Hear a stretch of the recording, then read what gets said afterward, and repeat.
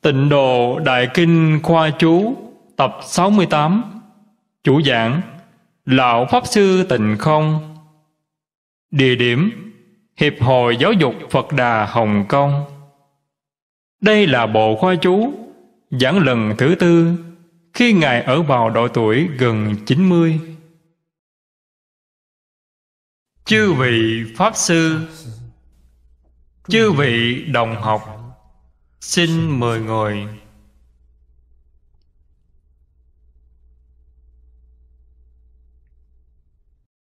Mời mọi người cùng tôi quy y tam bảo.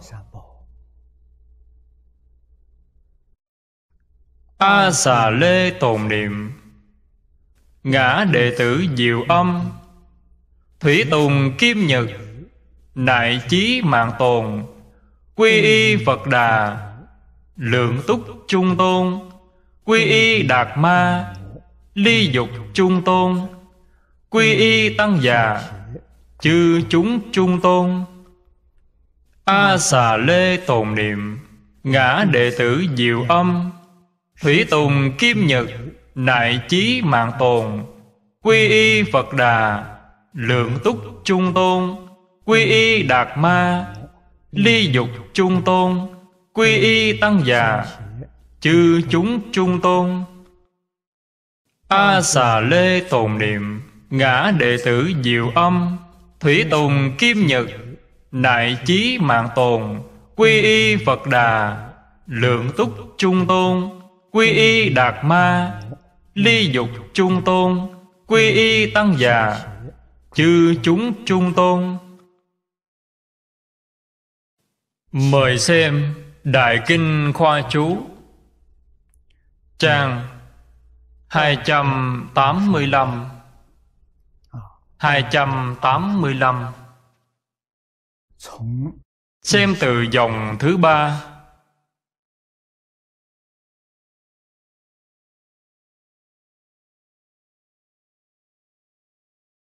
Xem chú dài của niệm lão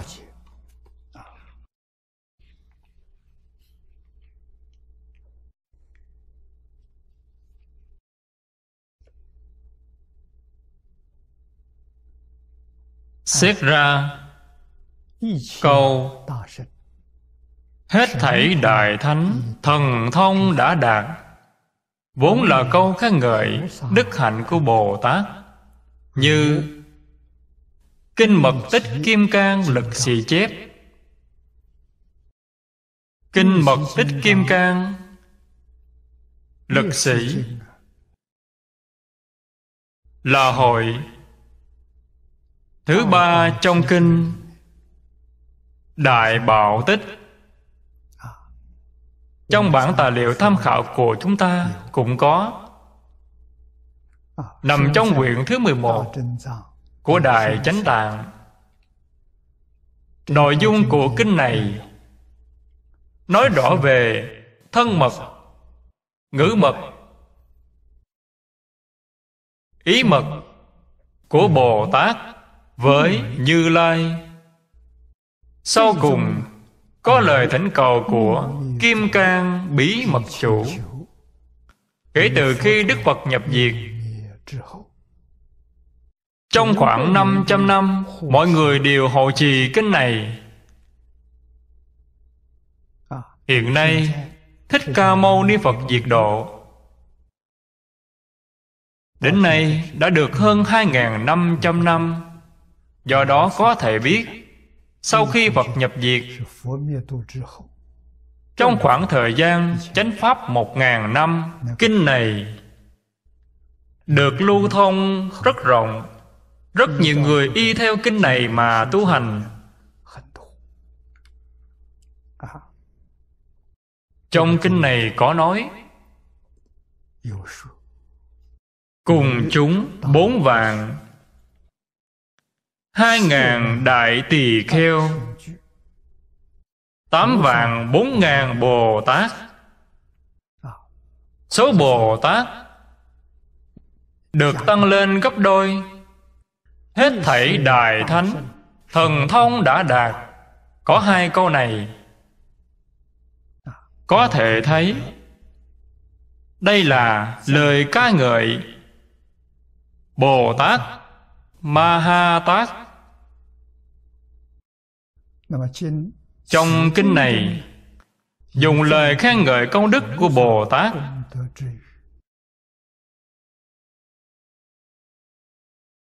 Để ca tụng thanh văn là ngụ ý các vị thánh chúng. Thường theo hầu phật vốn là pháp thân đại sĩ ẩn bổn thùy tích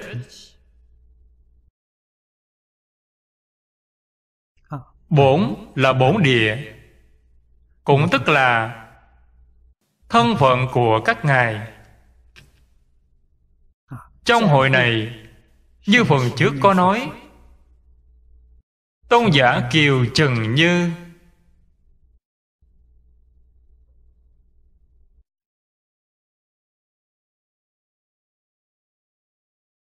tôn giả mục kiền liên trước đó thì có tôn giả tu bồ đề, tôn giả a nan, tôn giả ca diếp. Những vị này đều là đệ tử thanh văn, theo bên cạnh thế tôn.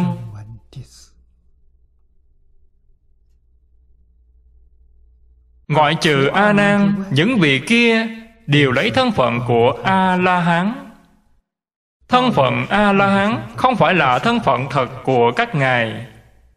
Thân phận chân thật của các ngài. Trong kinh phật có nói với chúng ta, một kiền liên, xá lợi phất đã thành phật từ kiếp lâu xa rồi.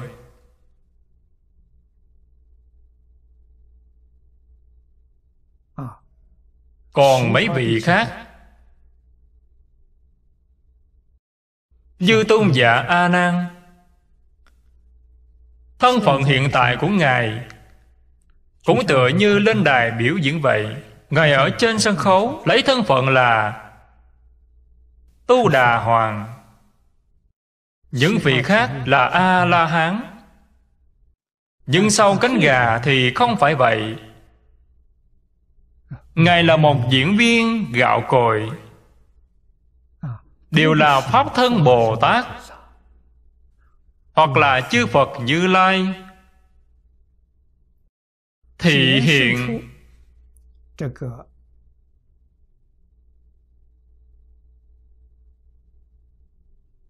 ẩn bổn thùy tích còn gốc của các ngài là pháp thân bồ tát vốn là chư phật như lai. nhưng các ngài đều giấu hết bổn tích của mình. Thùy tích là hiện hiện thời các ngài biểu diễn dưới thân phận là đệ tử của thích ca mâu ni phật. Trong đó hàm chứa ý nghĩa rất sâu xa. Phải biết rằng phật pháp. Rất vi diệu. Thâm thúy. Nhưng chẳng ai biết nên các ngài ở trước mặt phật đưa ra câu hỏi, xin phật chỉ dạy. Nếu không phải là pháp thân bồ tát hay cổ phật tái lai, mà chỉ là a la hán hay bích chi phật hay quyền giả bồ tát sẽ không thể nào hỏi được như thế. Do trình độ không đủ. Thế thì làm sao? Trong kinh đại thừa, phật có hé lộ tin tức cho chúng ta. Phật bảo một phật xuất thế, ngàn phật theo hộ. Một vị phật xuất hiện tại thế gian lấy thân phận phật để giáo hóa chúng sanh. Chúng đệ tử bên cạnh ngài là gì? Toàn là cổ phật, ngàn phật đến cùng. Đến để làm gì? Từ dưới diễn kịch vậy, đức phật là vai chính, các ngài đóng vai phụ. Đức phật xuất hiện với thân phận là thầy. Những vị khác đều xuất hiện với thân phận học trò. Nhưng các ngài không phải là học trò thật. Chỉ là đến biểu diễn, Đến hộ Pháp thôi.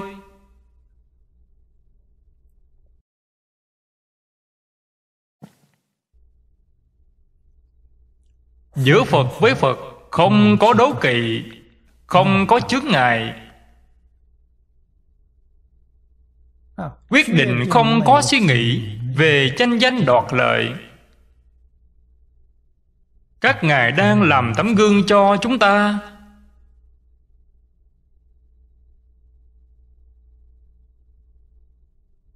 Thế gian Hiện giờ Phật Pháp suy rồi. Vì sao lại suy như vậy? Vì sau khi Phật diệt độ Chúng đệ tử vào những buổi đầu còn khá. Đệ tử vào thời Đức Phật còn tại thế Đều là thánh hiền giảng thế. Ứng hóa thân Thùy tích. Nên Phật Pháp hưng thịnh. Khi Đức Phật mất rồi, Những đại đệ tử thường tùy bên cạnh Phật. Dần dần từng người đều nhập Niết Bàn. Đến thời kỳ truyền Pháp sau này, Thời kỳ tượng Pháp, Rồi đặc biệt đến thời kỳ mạt Pháp hiện nay, Các bậc thánh hiền còn đến thế gian này không? Có. Thánh hiền xuất hiện dưới hình tướng gì? Các ngài hiện tướng tỳ kheo. Có thể nhìn ra được không? Người trong nghề có thể nhìn ra được, Còn người ngoài sẽ nhìn không ra. Người trong nghề, Họ hiểu rõ về Phật Pháp. Một con người có tu tập sẽ nhìn ra được. Người không hiểu Phật Pháp, Không có tu tập, sẽ nhìn không ra Bạn không biết được họ Gần đây, Tôi có giới thiệu với mọi người về Hải Hiền Lão Hòa Thượng ở chùa Lai Phật. Rất nhiều người đã xem qua chiếc đĩa này. Vì lão nhân này cũng là ẩn bổn thùy tích.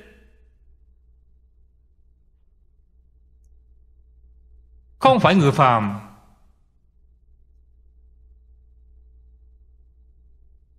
Ngài đến thế gian này thì hiện cho chúng ta. Ở cái thời này, Thời đại này là thời loạn thế. Chứ không phải là một thế giới bình yên, Thế sự nhiễu nhương, Tất cả mọi trật tự đều loạn hết cả lên. Nếu chúng ta tu theo tình độ, Thì nên làm thế nào mới có thể thành tựu Ngài đã làm ra tấm gương tốt nhất cho chúng ta rồi. Chúng ta phải biết điều đó. Cần tu học tịnh tông như thế nào? Bạn cứ nhìn Ngài Ngài chỉ có một câu Phật hiệu. Chúng ta những năm qua, Lão sư dạy tôi một môn thâm nhập. Trường kỳ huân tu. Thổ tôi còn trẻ. Ở Đài Loan Học Phật cùng với lão cư sĩ Lý Bỉnh Nam.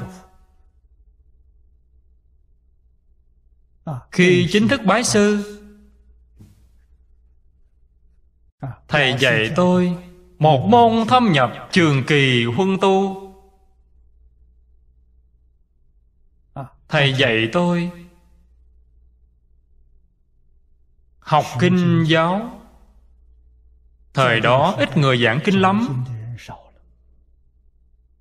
Người có năng lực này nên bước ra hoàng pháp lợi danh. Giảng dạy kinh điển rõ ràng Tường tận.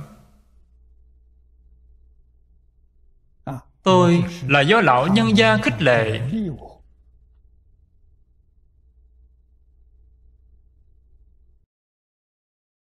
Lúc đó Tôi không dám học Vì tôi nghĩ rằng kinh điển quá sâu. Chúng tôi là hạng phàm phu.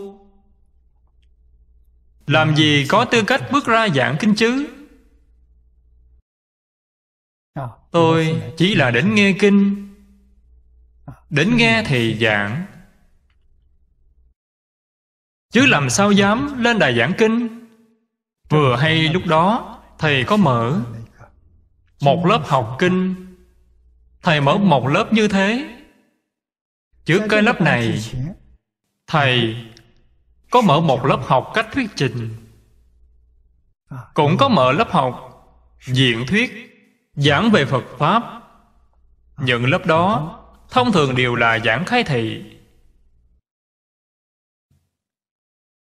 Lớp này bồi dưỡng một nhóm. Đại khái học khoảng 2-3 năm có rất nhiều nữ đồng học Sau cùng họ kết hôn rồi. Kết hôn rồi thì không còn đến lớp nữa. Từ đó, lão sư rút ra một bài học. Thầy chọn lựa học trò cho lớp giảng kinh rất nghiêm khắc.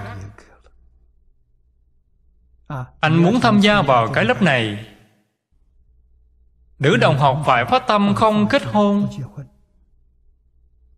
Một đời học kinh giáo mới được. Vì thế rất ít người đến tham gia. Đến tham gia lớp này là những người nào? Hầu như đều là phụ nữ trung niên. Họ đã có gia đình, có sự nghiệp. Con cái đều đã trưởng thành cả rồi. Đều có công ăn việc làm, họ đã về hưu. Sau khi nghỉ hưu, học giảng kinh cũng được. Họ sẽ không thay đổi cho nên, trong lớp chúng tôi, người lớn tuổi nhất là lão cư sĩ lâm kháng trị 60 tuổi. Thọ đó, tôi theo lão sư lý năm tôi. 31 tuổi. Bà Lâm kháng trị, Hơn tôi đại khái cũng gần 30 tuổi. Bà tốt nghiệp tiểu học. Cũng theo lão sư lý học giảng kinh, Chúng tôi vừa nhìn thấy bà, Liền có lòng tin. Tuổi tác của tôi chỉ mới hơn 30 một chút. Bà chỉ mới tốt nghiệp tiểu học, Còn tôi tốt nghiệp sơ chung, Cao trung học được nửa năm. So với bà, tôi có phần khá hơn nhiều. Bà còn lên đài giảng kinh được. Vì sao tôi không thể lên đài giảng chứ? Điều này đã cho tôi Một sự khích lệ rất lớn. Tôi bèn tham gia Vào cái lớp đó. Chuyên học giảng kinh. Thời đó, Tiến độ học của tôi rất nhanh. Hầu như toàn là học những bộ kinh nhỏ, Kinh tiểu thừa. Cứ khoảng một tháng là học xong một bộ.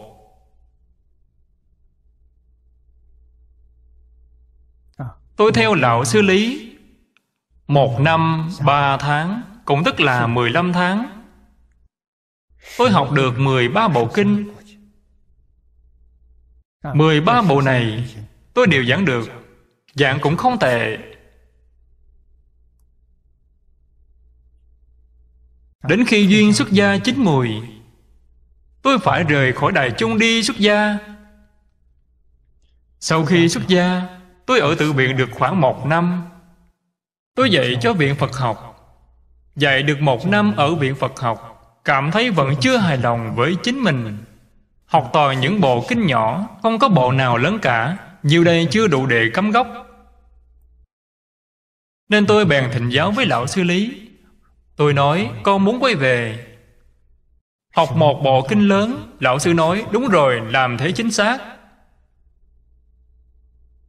Bản thân tôi chọn kinh Pháp Hoa.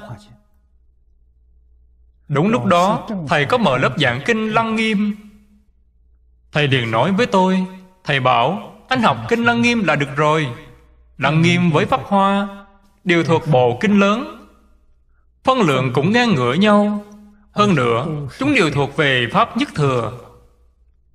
Cổ nhân Trung Quốc có nói, lăng nghiêm khai trí huệ, Pháp hoa thành Phật. Nên Thầy dạy tôi. Lăng Nghiêm. Kinh Lăng Nghiêm, Thầy đã giảng hết ba năm. Thầy giảng kinh vào thứ tư mỗi tuần. Đến thứ năm thì tôi giảng lại.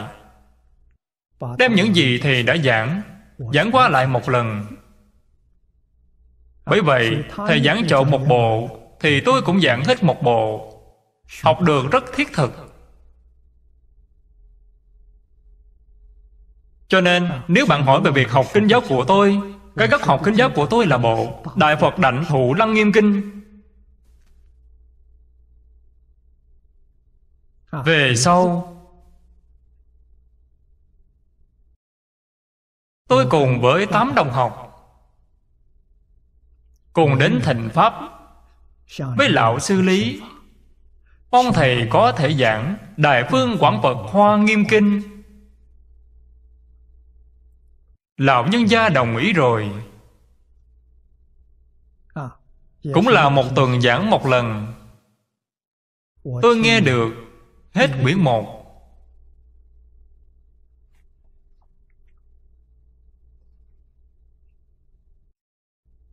Hoa Nghiêm có đến 80 quyển Gọi là Hoa Nghiêm 80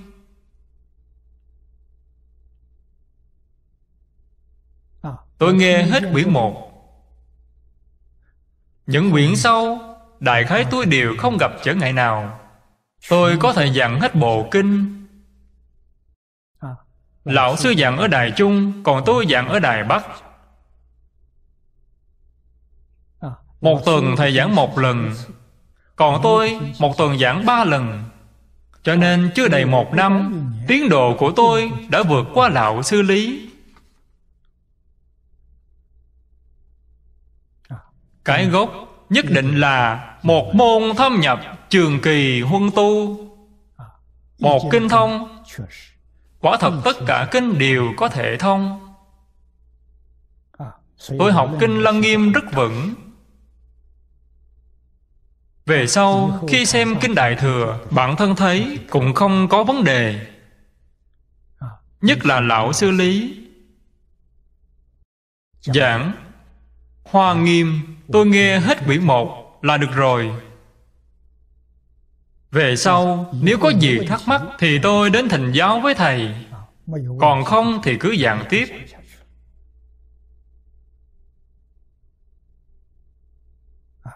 Cho nên,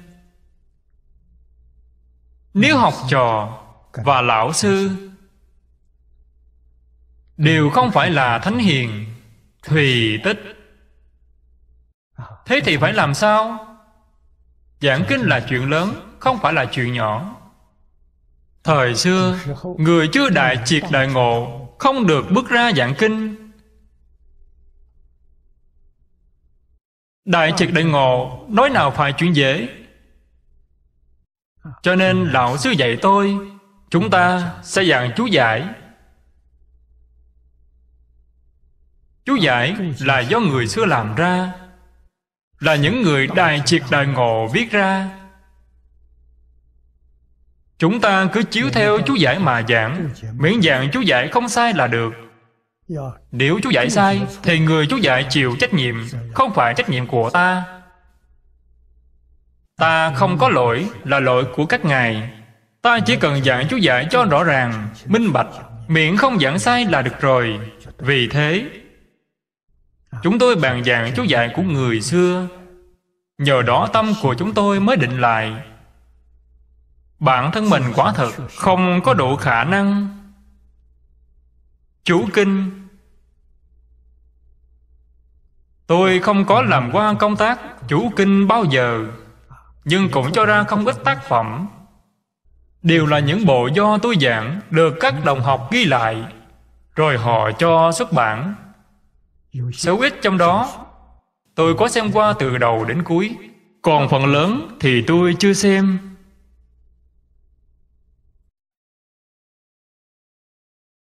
Nhưng người muốn học tập kinh giáo thì có cần thiết xem không? Cần. Đặc biệt đối với thời đại này, cách học tập nhất định phải một môn thâm nhập, trường kỳ huân tu. Phải nắm được ý nghĩa trong bộ kinh đó, hay có chỗ ngộ rồi? Mới được phép học bộ thứ hai. Đến lúc đó học, tiến độ sẽ rất nhanh. Không còn trở ngại nữa. Giáo học của nhà phật hoàn toàn khác với pháp thế gian. Trường học hiện thời, môn học rất nhiều được dạy cùng một lúc. Một ngày, phải học đến mấy bài. Khoa một điều khác nhau.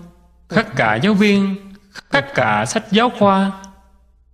Trong phật pháp thì không cho phép như thế. Trung quốc thời xưa cũng không cho phép. Giáo học của phật môn. Tổng cương lệnh chính là giới định huệ tam học. Nhân giới được định, nhân định khai huệ. Mục tiêu của nó, tức là mục tiêu trong việc tu học phật pháp chính là khai trí huệ. Chứ không phải chỉ là tri thức.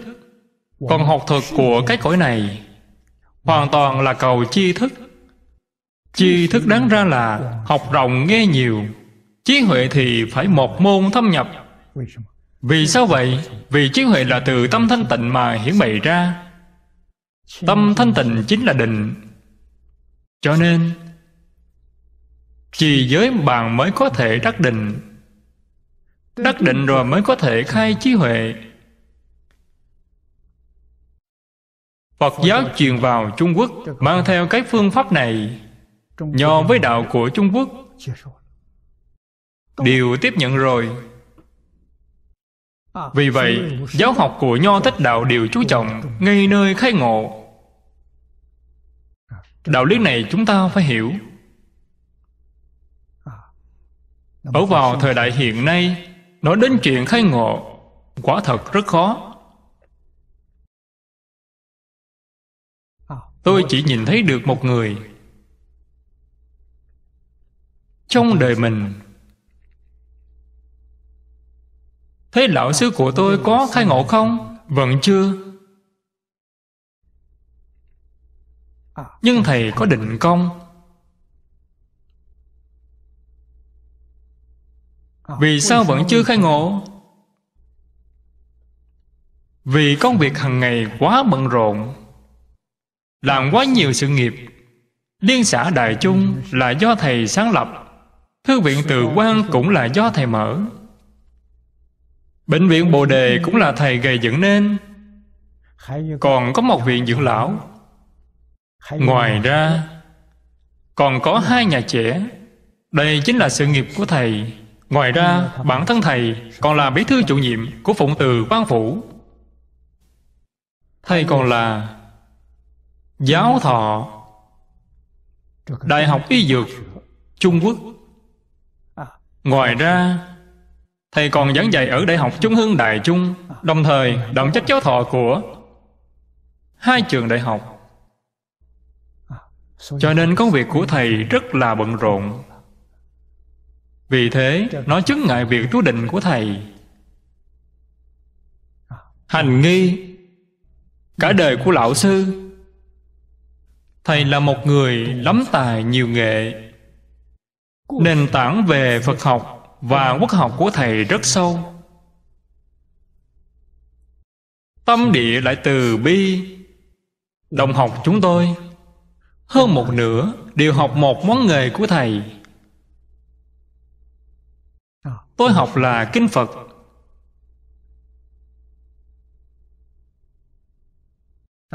Cư sĩ từ tỉnh dân ở đài trung thì học cổ văn. Môn này thầy truyền lại được rồi. Đại biểu là kinh dịch. Thật không dễ chút nào.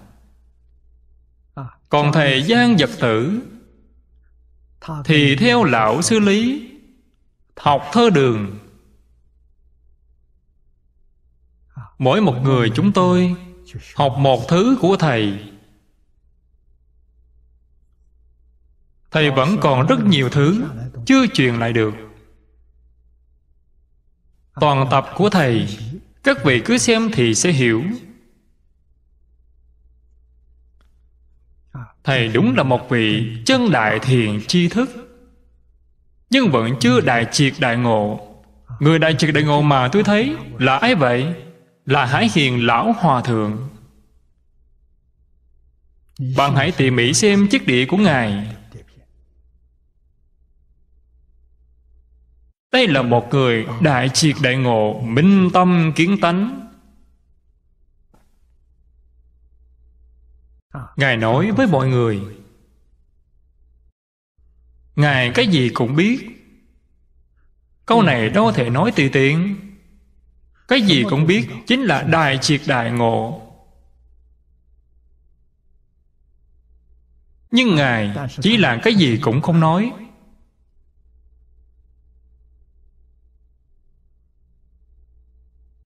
Lỡ nói ra rồi.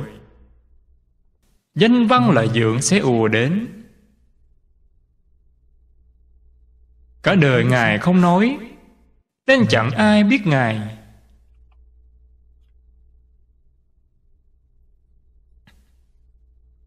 Đây là một người ẩn bổn thùy tích không phải người bình thường cái mà ngài biểu diễn chính là một câu phật hiệu. Ngài không biết chữ, giống y như lục tổ huệ năng vậy. Ngài huệ năng từ trong định mà khai ngộ.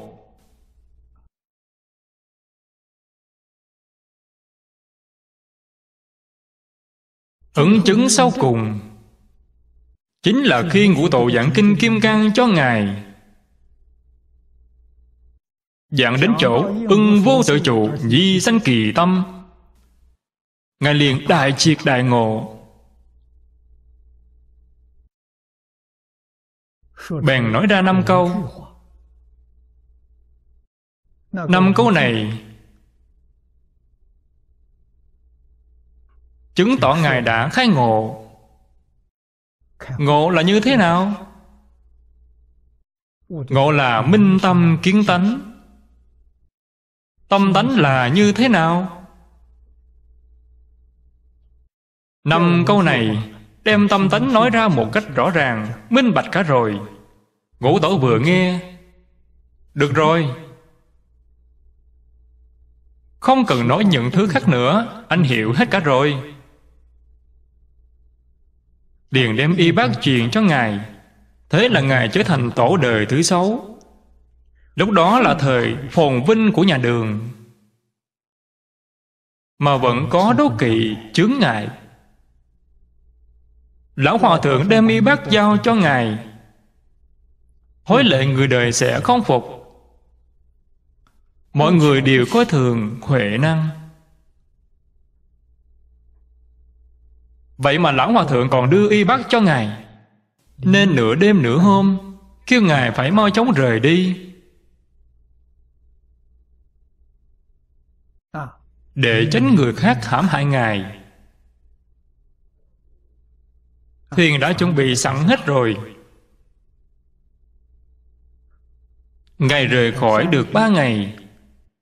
Ba ngày sau, Lão Hòa Thượng mới báo tin này với mọi người. Ba ngày chắc chắn đi được cũng khá xa rồi Ngụ tổ mới truyền nói.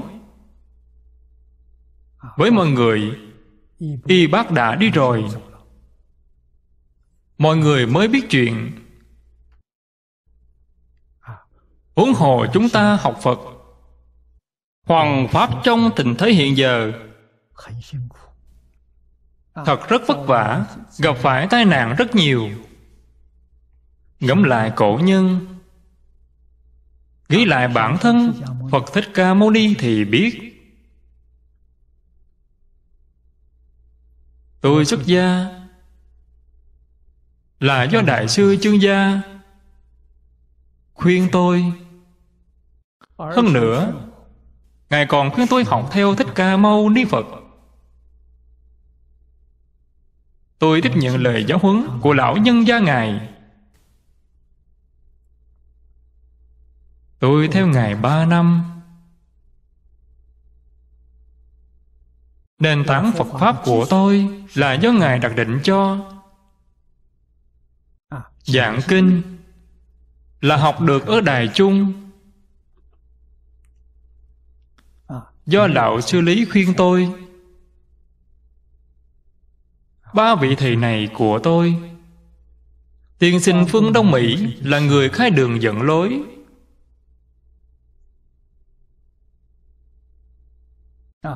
Thầy dạy tôi Nhận biết Phật giáo. Trước đó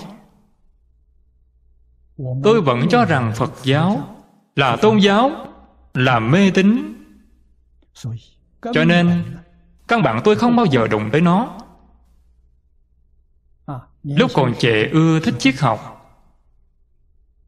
Tôi học triết học với tiên sinh phương Đông Mỹ Tôi hết sức cảm tạ thầy. Thầy giảng cho tôi một bộ triết học khái luận. Bắt đầu từ triết học Tây Dương Rồi giảng đến triết học Trung Quốc Sau cùng là nói đến triết học Ấn Độ. Trong triết học Ấn Độ Có nói đến triết học Kinh Phật. Tôi lấy làm kinh ngạc Tôi bảo, Phật giáo là tôn giáo, Là đa thần giáo. Đa thần giáo là thuộc về tôn giáo cấp thấp. Tôn giáo cấp cao chỉ có một vị thần, Một vị chân thần. Còn Phật giáo cái gì cũng lạy. Đến chùa là thấy. Đó gọi là đa thần giáo. Đa thần giáo trong tôn giáo là tôn giáo cấp thấp. Lão Sư Phương bèn nói với tôi, Phật giáo không phải là tôn giáo. Trước giờ tôi chưa từng nghe nói như vậy bao giờ. Phật giáo là vô thần luận. Vậy còn Phật Bồ Tát thì sao? Phật Bồ Tát không phải. Phật Bồ Tát là người, Không phải là thần. Nếu phiên dịch từ Phật ngữ mà nói Người Ấn Độ gọi là Phật Đà, Cũng giống như người Trung Quốc gọi là Thánh Hiền vậy. Bồ Tát là Thánh Nhân, A-la-hán là quân tử, Nhà Nho hay gọi là Thánh Hiền quân tử. Giống như học vị hiện giờ vậy, Đó là danh xưng của học vị. Trong nhà Phật không có thần sáng tạo vũ trụ. Vũ trụ do đâu mà có? Phật bảo, Đó là do ý niệm của bạn sanh ra. Tất cả Pháp từ tâm tưởng sanh, Tưởng do tâm sanh, Sắc do tâm sanh, Sắc với tướng, Đều là hiện tượng vật chất. Do đâu xuất hiện hiện tượng vật chất? Là từ ý niệm. Ý niệm từ đâu mà có? Ý niệm là từ tự tánh sanh ra. Vì thế, Huệ năng Đại Sư lúc nghe, Kinh Kim Cang, Đại khái nghe được khoảng một phần tư, Vẫn chưa nghe hết. Ngài hôn nhiên đại ngộ, Bạn nêu ra báo cáo của mình. Nào ngờ tự tánh, Bốn tự thanh tịnh. Câu này nói rõ, Tự tánh chính là chân tâm. Chân tâm không bị ô nhiễm. Ô nhiễm là vọng tâm, Không phải là chân tâm. Câu thứ nhất nói với chúng ta về thanh tịnh. Do đó, chúng ta phải nên dùng chân tâm. Đừng dùng vọng tâm. Dùng chân tâm, Bạn sẽ trải qua cuộc sống của Phật Bồ Tát Rất an lạc. Đó chính là thế giới cực lạc. Tâm bình đẳng là Bồ Tát. Tâm thanh tịnh là A-la-hán. Giác là Phật, Tức là đại triệt đại ngộ, Minh tâm kiến tánh. Đó chính là giác. Kiến tánh thành Phật. Người kiến tánh ở trong Phật giáo Có thể xưng là Phật Đà. Huệ năng Đại sư kiến tánh rồi. Ngài bảo với chúng ta, Tự tánh là thanh tịnh. Câu thứ hai nói rằng, Nào ngờ tự tánh. Tức là không hay biết tự tánh. Vốn không sanh diệt. Chân tâm không sanh, không diệt. Còn vọng tâm Vọng tâm có sanh diệt. Vọng tâm chính là ý niệm. Bạn xem, Niệm trước diệt niệm sau sanh. Chúng ta khởi tâm đồng niệm. Đó là vọng tâm. Vọng tâm có sanh, có diệt. Chân tâm không có sanh diệt. Vốn dĩ chẳng sanh, chẳng diệt. Câu thứ ba nói rằng, Nào ngờ tự tánh vốn tự đầy đủ. Tự tánh đầy đủ hết mọi pháp. Tất cả pháp được chia thành ba loại lớn. Thứ nhất là trí huệ, Thứ hai là đức năng, Thứ ba là tướng hảo. Phật trong Kinh Hoa Nghiêm có nói, Hết thảy chúng sanh Đều có trí huệ đức tướng như lai. Câu này nói lên rằng, Bốn vị tự đầy đủ Đầy đủ cái gì? Đầy đủ trí huệ giống như Như Lai vậy. Đức năng với tướng hảo đều giống.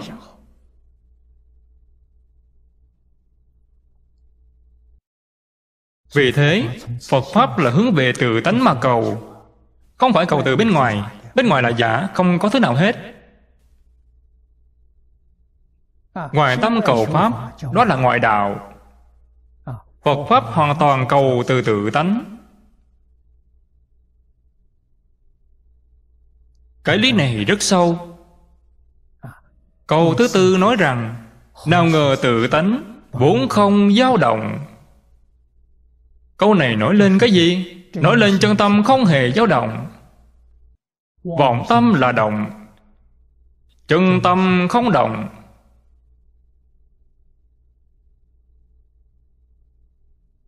Câu cuối cùng là, Nào ngờ tự tánh năng sanh vạn pháp.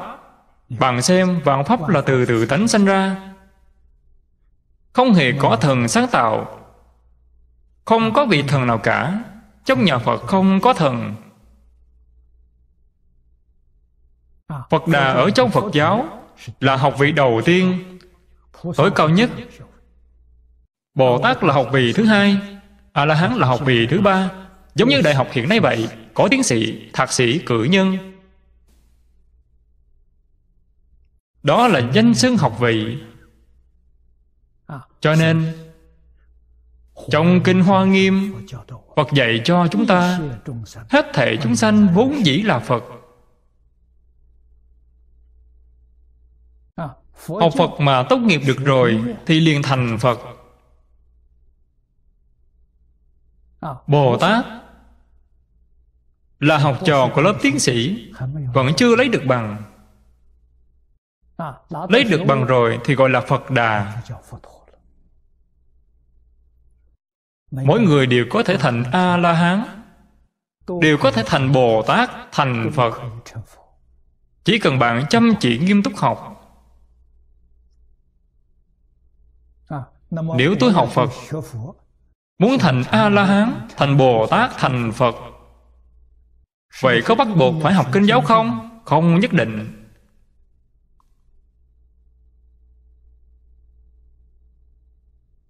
Thích Ca Mâu Ni Phật đâu có học kinh giáo? Ngài là nhờ tu định mà khai ngộ. Huệ Năng Đại Sư cũng không có học qua kinh giáo. Cũng là từ tu định, Nghe kinh Kim Cang mà khai ngộ.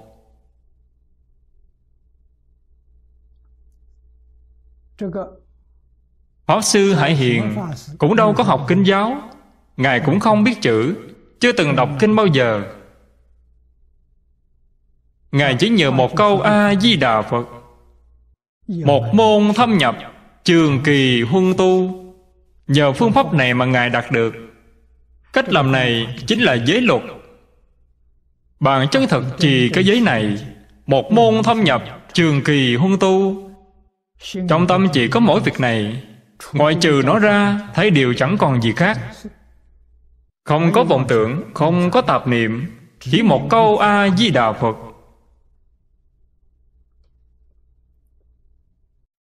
Niệm đến sự nhất tâm bất loạn, Liền chứng A-la-hán. Niệm đến lý nhất tâm bất loạn, Liền thành Phật. Vì vậy Ngài hãy hiền niệm A-di-đà Phật, Đạt đến nhất tâm bất loạn. Chính là nhờ Một môn thâm nhập Trường kỳ huân tu. Đây chính là lý niệm dị học của Đức Phật. Còn phương pháp thì sao? Chính là đọc sách ngàn lần, nghĩa kia tự hiểu. Tự hiểu chính là khai ngộ. Tự mình hiểu lấy. Bạn chỉ cần dùng cách này. Cách làm này cũng là giới luật. Ngài chỉ có một câu, a di đà phật, mà khai ngộ rồi. Cách tôi chỉ mọi người là đọc một bộ kinh, niệm bộ kinh. Đại thừa vô lượng thọ này, tức là bản hội tập của lão cư sĩ hà liên cư niệm bao nhiêu biến vậy?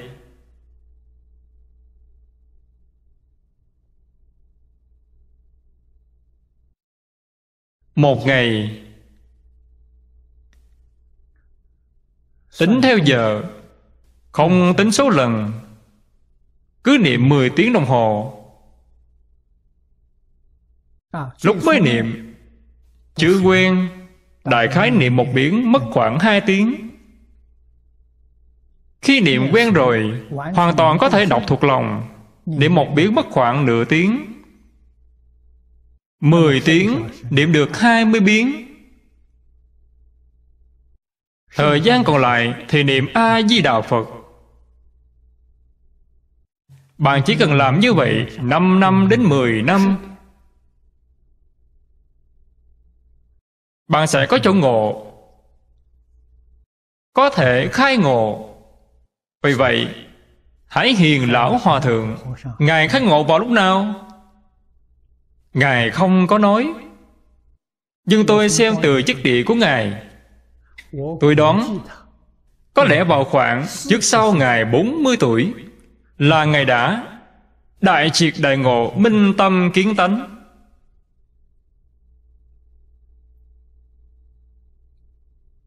Trước sau 30 tuổi thì được sự nhất tâm bất loạn.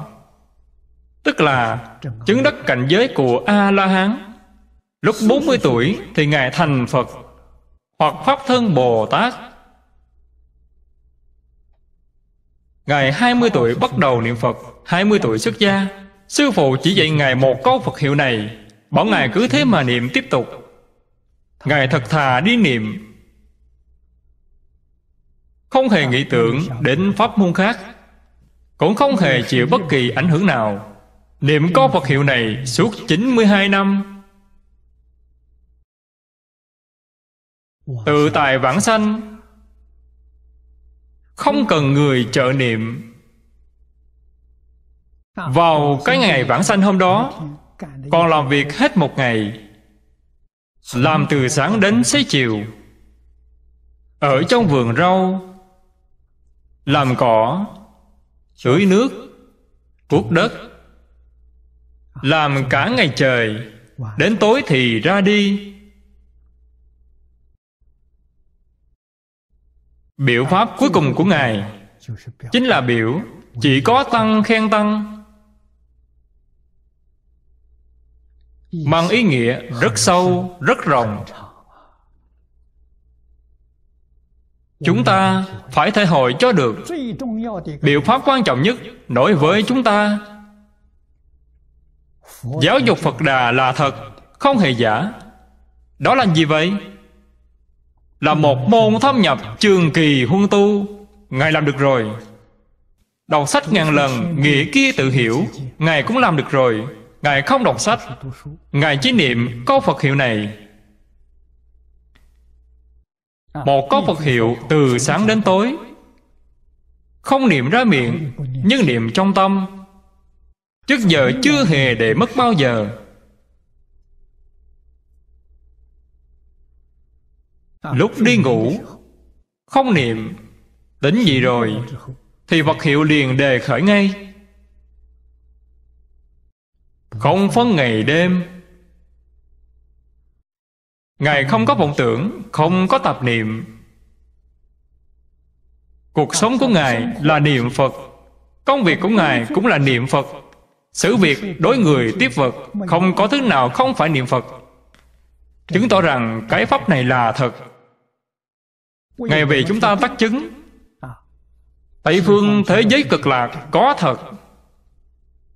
A di đà phật có thật trong này ngài có nói một câu, bạn phải biết cách nghe. Có người hỏi ngài, sư thấy a di đà phật.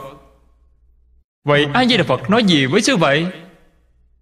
Ngài bảo, tôi đã mấy lần thỉnh cầu a di đà phật mang tôi đến thế giới cực lạc, nhưng a di đà phật không chịu đưa tôi đi. Ngài bảo tôi tu rất khá, tu khá tốt hãy ở lại thế gian này, làm ra tấm gương tốt, kêu tôi biểu pháp.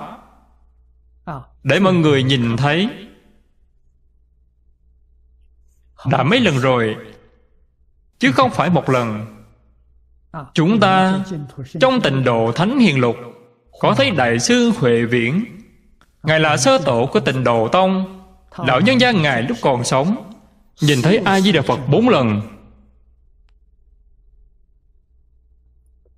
Thấy thế giới cực lạc. Lần cuối cùng là lần vãng sanh. Ba lần trước đó ngài không hề nói với bất kỳ ai. Sau cùng lúc vãng sanh ngài nói với mọi người a di đà phật của thế giới cực lạc đến rồi. Tôi sắp vãng sanh rồi. Cảnh này tôi đã từng thấy qua ba lần. Lúc đó ngài mới nói ra. Người khác hỏi ngài thế giới cực lạc chống ra làm sao? Ngài nói, giống y như những gì được nói trong kinh vô lượng thọ vậy. Chứng tỏ thích ca mâu ni phật giới thiệu thế giới cực lạc cho chúng ta không hề sai. Ngài hãy hiền, niệm phật 92 năm. Tôi ước tính lão nhân gia Ngài Thấy A-di-đà Phật Thấy thế giới cực lạc. Tuyệt đối. Không bao giờ ít hơn 10 lần.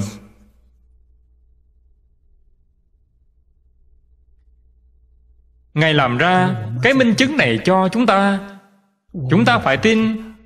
Tuyệt đối không được hoài nghi. Chúng ta mong cầu điều gì Chính là thế giới cực lạc. Cái cõi này là giả. Điểm này quan trọng hơn bất cứ thứ gì làm sao để đi được? Một có vật hiệu là được. Kinh điển cũng cần phải học. Vì sao? Vì chúng ta nhận thức về thế giới cực lạc vẫn chưa đủ. Còn hoài nghi kinh điển có thể giúp chúng ta đòn nghi sanh tín. thêm vào đó chúng ta lại được thấy sự biểu diễn của lão hòa thượng. Chúng ta liền chết lòng tròn ý đối với pháp môn này biểu pháp sau cùng của ngài nói lên điều gì? Ý là bổn hội tập của lão cư sĩ hà liên cư là chân kinh không có chút sai lầm nào. Bản chú giải của lão cư sĩ hoàng niệm tổ cũng là thật không hề sai. Có thể tin được Chúng ta suốt mười mấy năm qua Y theo cái bổn này Y theo bạn chú giải này tu hành Tuyệt không làm đường. Bảo chúng ta cứ yên tâm Cứ quyết lòng tròn ý mà học tiếp. Chính là biểu cái pháp này. Trên thực tế Ý nghĩa biểu pháp của Ngài Thâm sâu khôn lường. Đó chính là nếu muốn Phật Pháp hưng Chỉ có tăng khen tăng. Ngài nói với chúng ta một điều làm sao có thể khiến Phật Pháp hưng vượng, Tán thán lẫn nhau liền hưng vượng, Phỉ bán lẫn nhau, liền đưa đến diệt vong?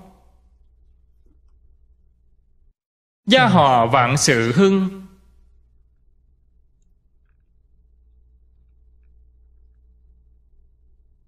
Không được phép phỉ bán lẫn nhau. Vì bán nhau đồng nghĩa đang diệt Phật Pháp. Ca ngợi nhau sẽ khiến Phật Pháp hưng khởi. Dù cho người khác có lỗi Lỗi cũng không được đi. Biêu rếu khắp nơi. Đó coi như trở thành phỉ bán rồi. Muốn khuyên người sửa sai Hành thiện, Thì khuyên vào lúc nào Là lúc không có người thứ ba ở bên cạnh. Lúc này thì được. Vì sao? Vì người ta cần có thể diện. Bạn phải để ý đến chuyện này Khi nói lỗi người khác. Không được phép Có sự hiện diện của người thứ ba. Thầy dạy học trò cũng là như vậy. Học trò có lỗi. Trước mặt các bạn học đều không được nói. Nhất định phải gọi học trò đến phòng, khóa cửa lại. Chỉ có mình người học trò đó, lúc đó mới dạy dỗ họ được. Lão sư đối với học trò còn như vậy. Huống hồ là đối với người ngoài vì thế, xã hội hài hòa.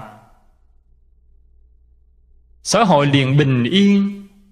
Quốc gia lãnh đạo với nhân dân mà khen ngợi lẫn nhau.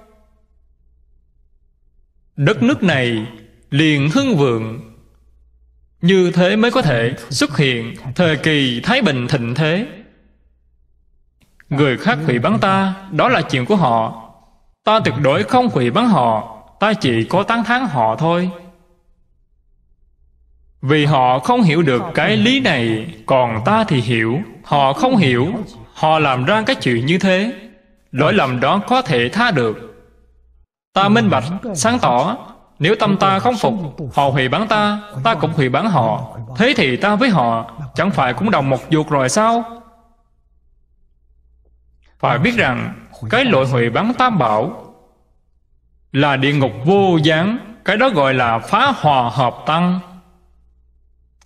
Chúng ta tin tưởng nhân quả, chúng ta quyết định không dám làm cái chuyện đó.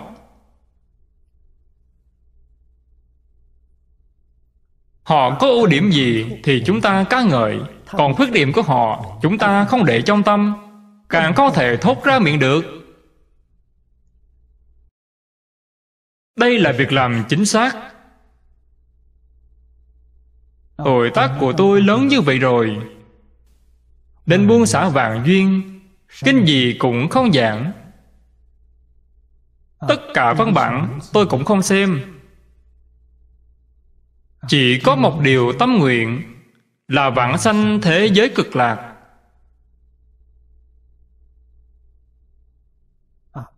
Pháp Sư Hải Hiền vì tôi tác chứng. Tôi rất biết ơn Ngài. Tôi hướng về Ngài học tập. Tôi cũng khuyên học nhân tịnh tông. Đều nên học theo Ngài. Học như thế nào? Mỗi ngày coi cái đĩa này ba lần. Một ngày niệm một vạn câu Phật hiệu. Niệm một vạn câu Phật hiệu. Xem đĩa ba lần.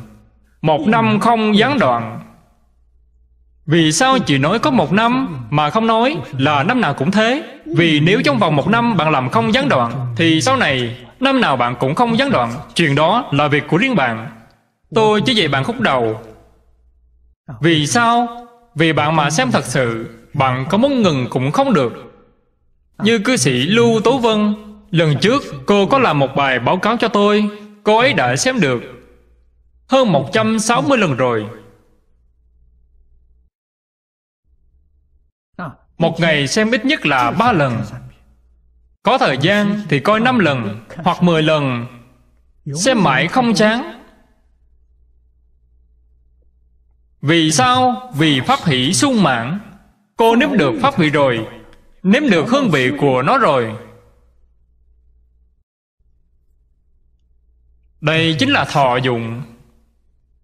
Mục tiêu cuối cùng của thọ dụng này Chính là thế giới cực lạc. Ờ. làm đệ tử bậc nhất của a di đà phật.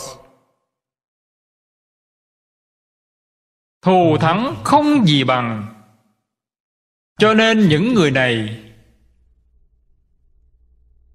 thần thông đã đạt. Ngài thật là bậc đại thánh, ngài không phải tiểu thánh.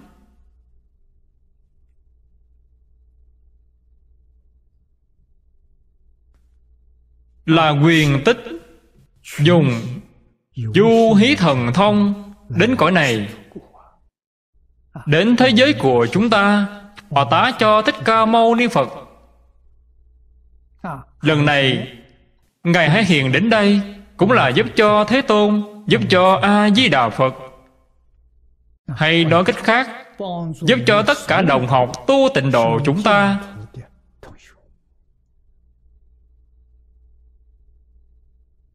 Ngài đã làm ra một minh chứng. Chân thật đến mức ngàn chân vạn thật.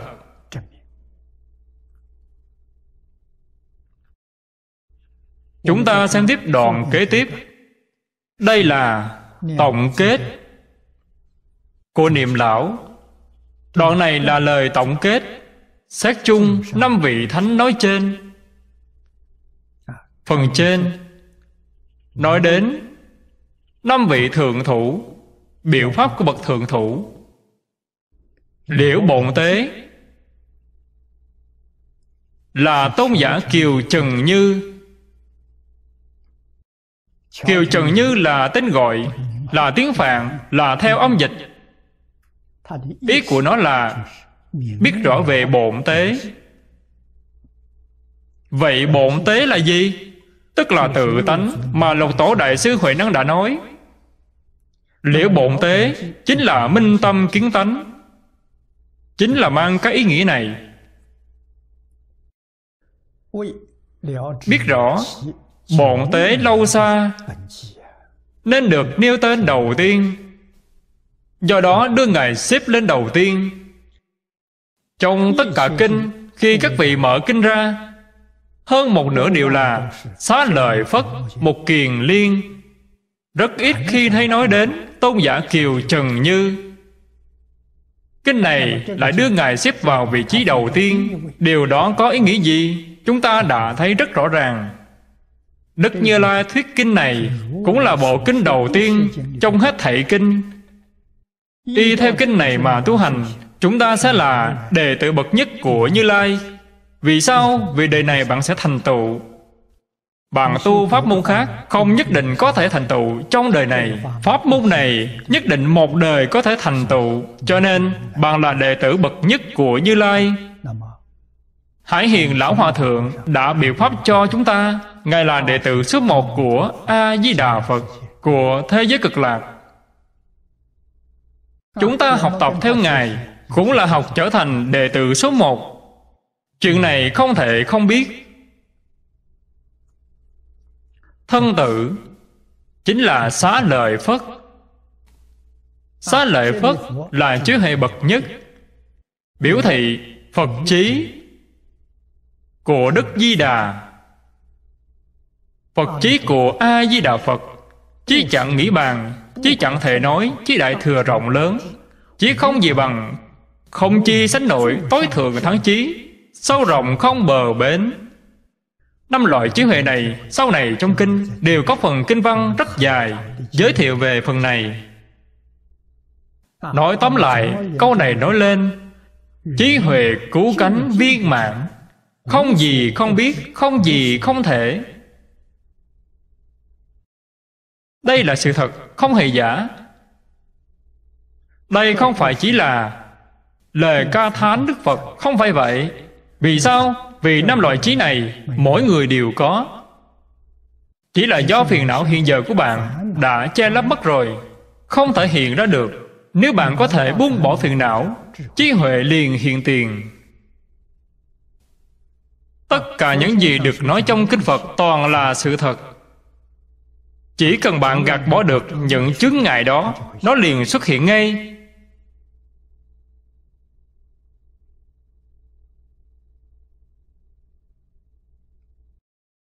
Về điểm này Nó không giống với mọi tôn giáo Ở thế gian. Tất cả tôn giáo chỉ có thần mới có loại trí huệ và khả năng đó Có người không có. Đức Phật thì không nói như vậy. Tất cả trí huệ, năng lực của Phật Mỗi người đều có Mà hết thảy chúng sinh Ai ai cũng có. Chỉ cần bạn chịu buông xả Buông xả kiến tư phiền não Bạn liền chứng quả A-la-hán. Buông bỏ chừng xa phiền não, Bạn liền chứng Bồ Tát. Buông bỏ vô minh phiền não, Bạn liền thành Phật. Phật nói đến ba loại chứng ngại này. Đã che mất tự tánh của bạn, Ngăn trở bản năng của bạn, Lấp mất tướng hảo của bạn. Quan trọng ở chỗ buông xả, Những thứ giả tạm. Đừng để nó trong tâm Thì đúng rồi. Để trong tâm là quá đổi sai lầm. Trong tâm chỉ có thể để A-di-đà Phật. Nếu thêm vào kinh điển Thì chỉ có thể thêm một bộ kinh vô lượng thọ vào thôi. Nhận thức khác đừng cho thêm vào.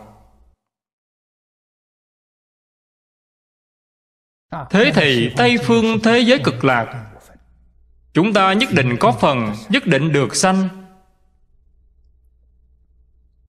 một kiền liên, đại biểu thần thông đệ nhất. Hiển thị thệ nguyện du hí thần thông. Vãng sanh đến thế giới cực lạc. Bạn là đệ tử bậc nhất của a di đà phật. Bạn còn là trí huệ đệ nhất, thần thông đệ nhất.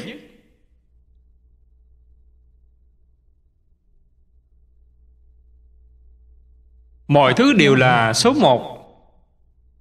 Không có số hai. Thế giới cực lạc là thế giới bình đẳng. Mỗi người đến nơi đó, đi thi đều đứng đầu, không bao giờ bị đứng thứ hai. Không như cõi này của chúng ta cõi thứ hai, thứ ba, thứ tư, thế giới cực lạc không có, toàn là số một.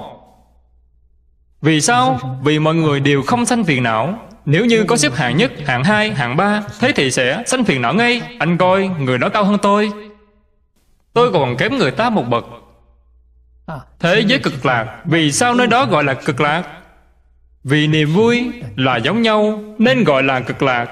Không giống nhau thì không thể gọi là cực lạc.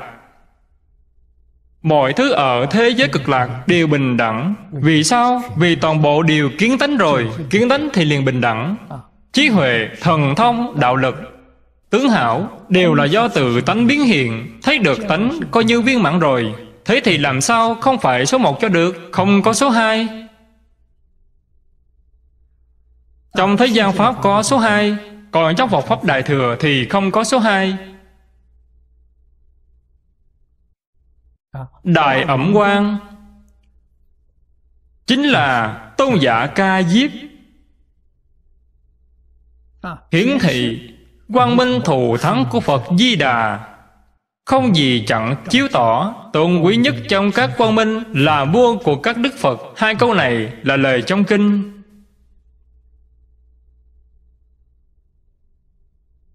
Chúng ta đến thế giới cực lạc thành Phật, Sẽ giống hệt với A-di-đà Phật, Bình đẳng với A-di-đà Phật.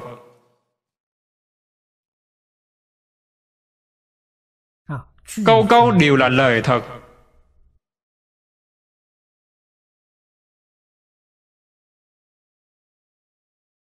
Khánh hỷ là chỉ tôn giả A Nan, Ngài đại biểu cho Nghe tên hoan hỷ, Đều được độ thoát. Bằng danh nghĩa là nghe thấy, Danh hiệu Nam Mô A Di Đà Phật. Bạn mà nghe được danh hiệu này, Sanh tâm hoan hỷ. Tương lai bạn nhất định có thể vãng sanh Thế giới cực lạc, Đến thế giới cực lạc thành tựu. Phật quả Cứu cánh Viên mãn Phần sau nói với chúng ta hơn nữa, Ca Diếp là sơ tổ của tông môn, A Nan là nhị tổ. Vậy thì có vật hiệu này chính là thiền. Không cần thiết phải đi tham thiền nữa.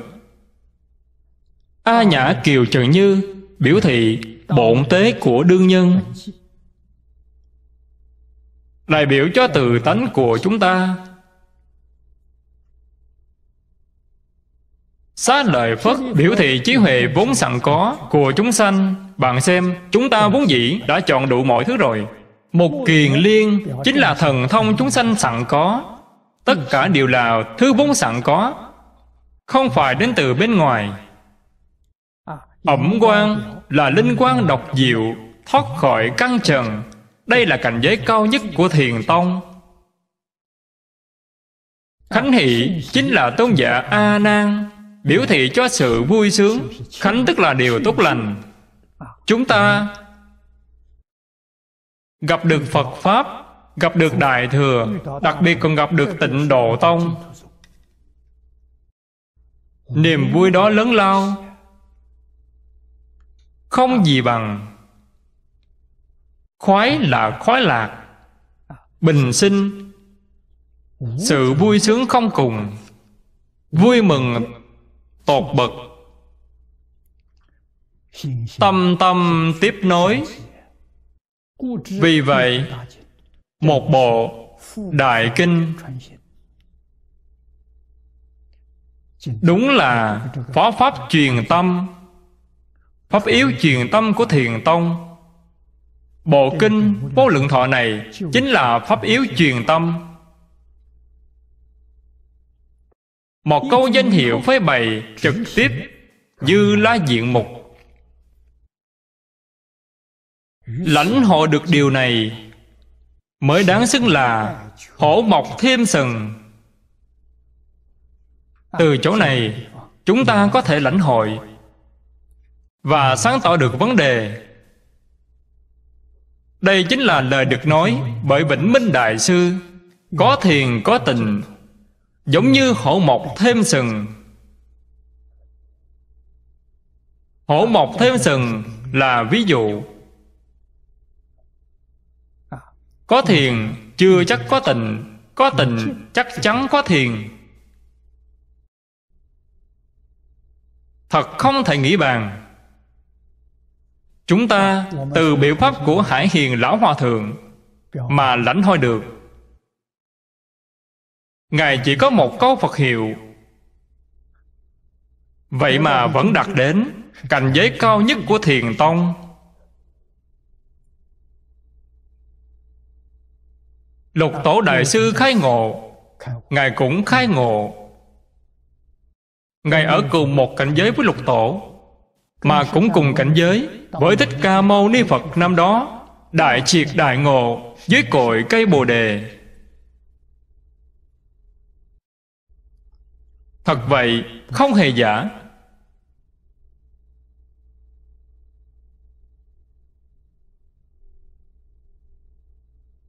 Chúng ta học bộ kinh này Điều quan trọng nhất là Phải hiểu cho rõ ràng, sáng tỏ. Như thế chúng ta mới chết lòng tròn ý. Biết đến thế giới cực lạc làm Phật.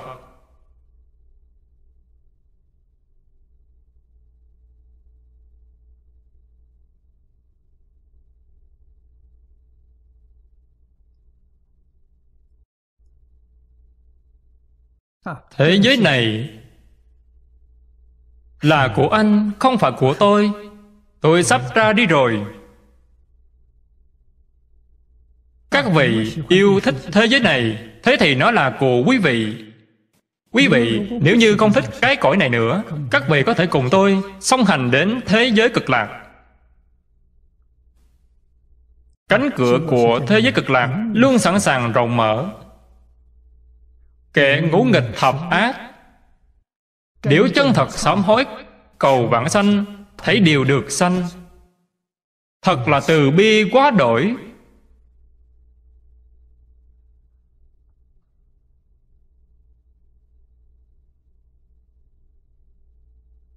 Chúng sanh gây nên tội nghiệp nơi địa ngục. Trong vạn sanh chuyện, Có rất nhiều trường hợp như thế.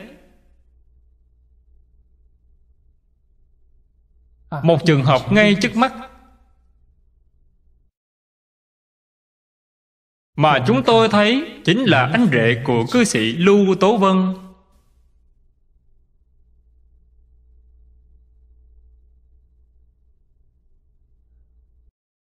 Tuy cũng học phật được vài năm, nhưng rất hay nóng tính.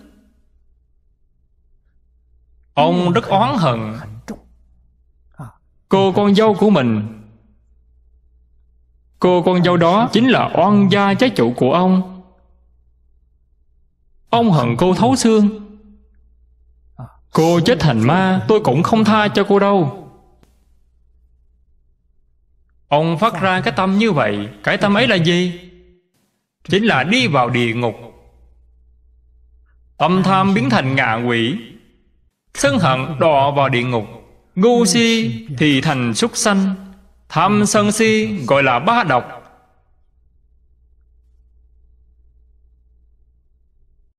Nhất định không được có. Có ý niệm tham sân si, Đồng nghĩa sẽ rớt vào ba đường ác. Không được có tâm tham, Không được sân hận. Dù có phải chịu khổ nạn Lớn thế nào đi chăng nữa, Cũng không được oán trời trách người. Phải có thể nhẫn chịu. Mọi thứ đều dùng niệm phật để hóa giải. Trong tâm chỉ có phật hiệu, không có oán hận, không có tham luyến, không ngu si người này nhất định vãng sanh tịnh độ. Bạn theo tham sân si thì khó lòng nắm chắc. Bạn xem cả đời hải hiền lão hòa thượng, chưa hề oán hận bất kỳ người nào. Chưa hề thấy người nào đáng ghét hay yêu thích người nào, không có chuyện đó. Người người cũng đều là người tốt chuyện nào cũng đều là chuyện tốt đánh tôi cũng là chuyện tốt, mà mắng tôi cũng là chuyện tốt. Để tôi chịu khổ chịu nạn cũng là chuyện tốt. Mới có thể là đệ tử bậc nhất của đức di đà. Vì sao? Vì ngài biểu diễn cho người đời xem. Chỉ có đệ tử số một của di đà mới có thể làm được. Người đời làm không được, còn ngài có thể làm được.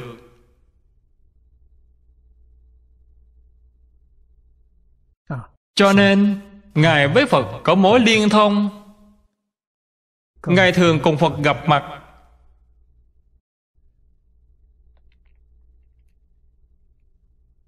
Phật đến để cổ động cho ngài an ủi ngài. Còn kêu ngài tiếp tục biểu pháp cho mọi người thấy. Niệm lão dạy chúng ta chỉ cần hăm hở mà niệm. Mạch chật tức là xuyên suốt. Chỉ cần bạn niệm một cách xuyên suốt sư phụ của hải hiền lão hòa thượng dạy cho ngài. Câu a di đà phật này cứ niệm một mạch mạch chật có nghĩa là xuyên suốt không ngừng vĩnh viễn không thay đổi. Bạn xem đó cũng là vô thượng thâm thiền. Thành tựu của ngài chính là đại triệt đại ngộ minh tâm kiến tánh của thiền tông. Ngài dùng phương pháp gì để tu thanh thiền định được viên mạng đến như vậy chính là một câu phật hiệu một câu phật hiệu niệm mãi không thôi.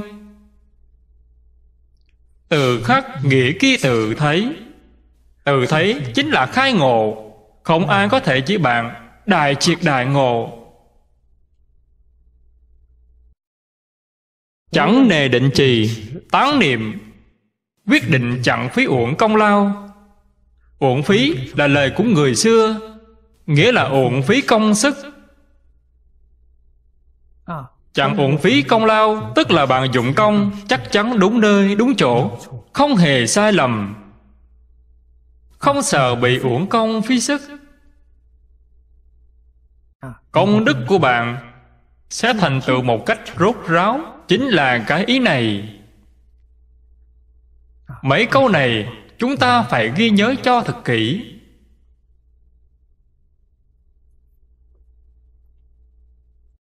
Đoạn sau cùng là kinh này.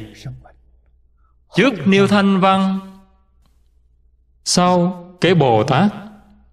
Về đại chúng ở trong hội, trước là nêu thanh văn. Đoạn thứ hai của phần sau, đoạn thứ hai nói về chúng bồ tát.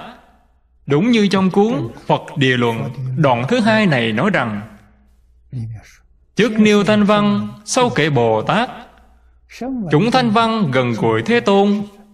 Vì được phật đích thân giáo hóa hơn nữa các thanh văn thường theo đức phật nên hình tướng giống với đức phật. Vì vậy phần nhiều các kinh thường nêu thanh văn rồi mới nói đến bồ tát. Thanh văn là gì? nghĩa là vẫn còn là học trò. Chưa chứng được pháp thân phải thường tùy bên cạnh đức phật, chưa thể rời khỏi. Bồ tát là học trò đã đại triệt đại ngộ. Các ngài có thể ở bên cạnh đức phật hoặc cũng có thể ra bên ngoài giáo hóa chúng sanh. Vì thế, bồ tát đại biểu cho giáo hóa chúng sanh.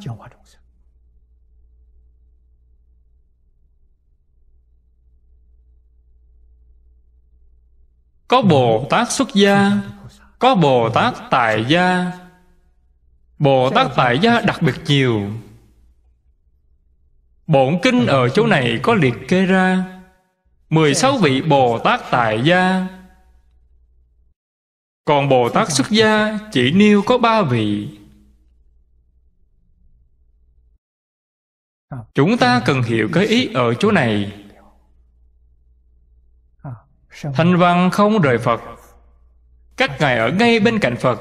Vì thế vừa nhắc đến Phật Liền sẽ liên tưởng đến những người các ngài.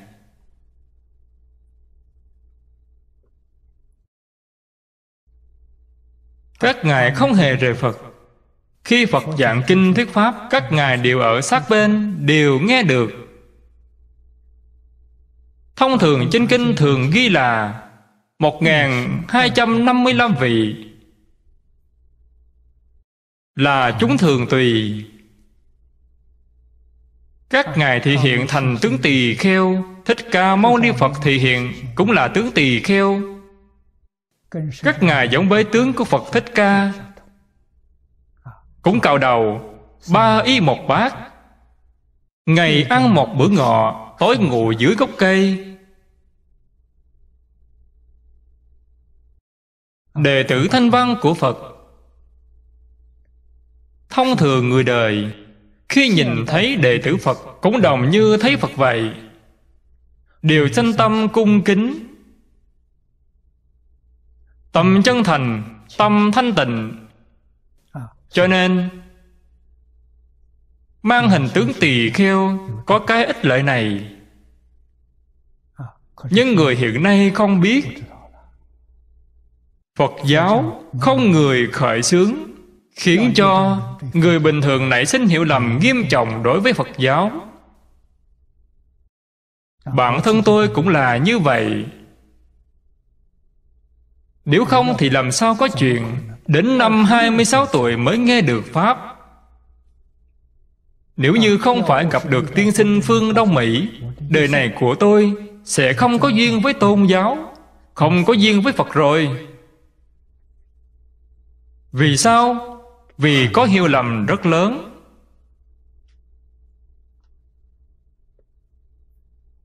Tiên sinh phương Đông Mỹ đem Phật giáo giới thiệu cho tôi.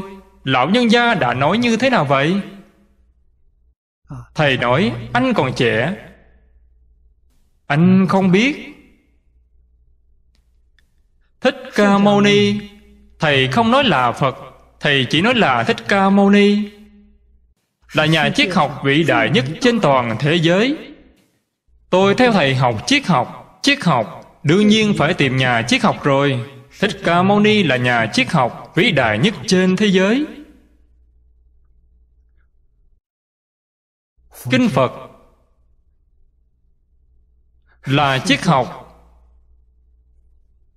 Đỉnh cao của thế giới. Học Phật là sự hưởng thụ cao nhất của đời người.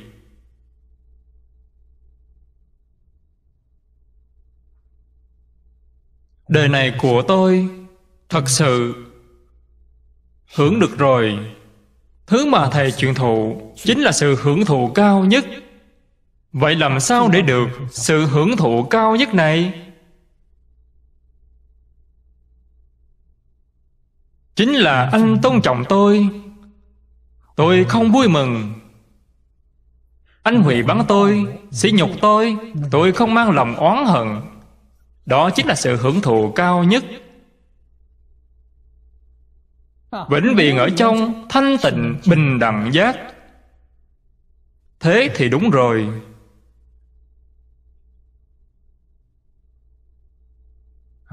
Không có tham sân si mạng nghi năm chữ này, có năm chữ này. Có như bạn đang tạo nghiệp. Bạn làm sao có thể có được sự hưởng thụ cao nhất này?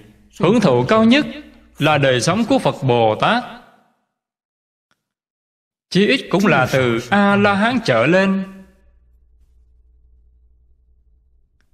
Đầu tiên là không còn ngã nữa. Muốn bước vào cửa Phật Việc lớn đầu tiên là phải phát ngã chấp. Người nào chứng được vậy Tu Đà Hoàng chứng được. Đây là sơ quả tiểu thừa Hay Bồ Tát Ở địa vị sơ tín của Đại Thừa. Trên Kinh Kim Cang có nói Vô ngã tướng, vô nhân tướng Vô chúng sanh tướng, vô thọ giả tướng Là Tu Đà Hoàng.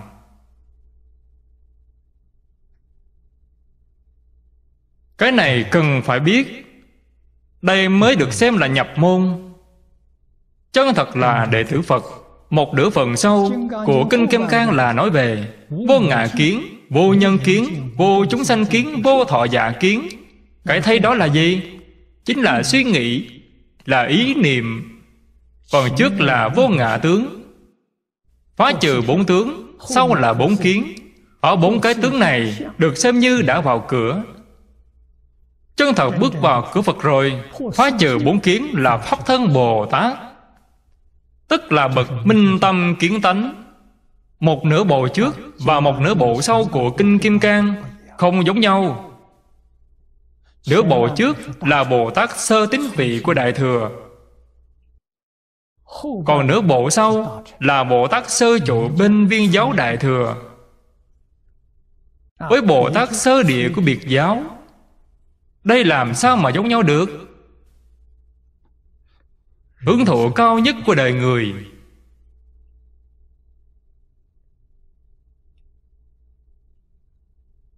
Chính là buông bỏ tham sân si. Ngay cả những thứ dính dáng đến, tham sân si mạng nghi, ngũ độc đều phải buông bỏ hết. Bạn mới được tự tại thì việc bản sanh của bạn mới thật nắm chắc trong tay.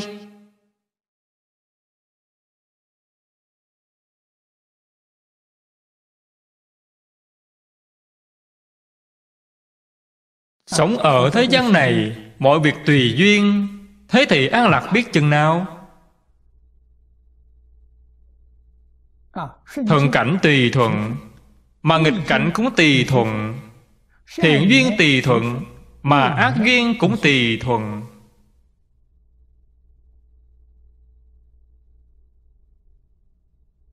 thuận nghịch, thiện ác, thấy đều là như nhau cả. Vì sao như nhau vậy? Vì phàm những gì có hình tướng đều là hư vọng. Thấy đều như con số không? Không với không, coi như giống nhau rồi.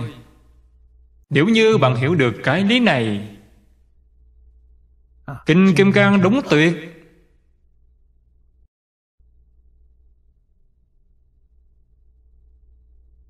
Lục Tổ Huệ Năng Đại Sư Nhờ bộ kinh này mà khai ngộ. Vì thế Kinh này về sau Trở thành bộ sách nhất định phải đọc của Thiền Tông. Còn trước đó Thiền Tông truyền tâm Là dùng kinh lăng già. Lục Tổ sau này dùng kinh Kim Cang